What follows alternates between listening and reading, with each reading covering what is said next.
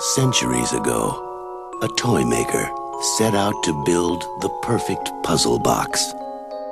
A gift that would bring enchantment to all who possessed it. He never dreamed that this simple toy was the key to the gates of hell. Do I look like someone who cares what God thinks? Now, centuries later, a scientist has unlocked its secret. And the battle for the future of mankind is about to be fought across the boundaries of time.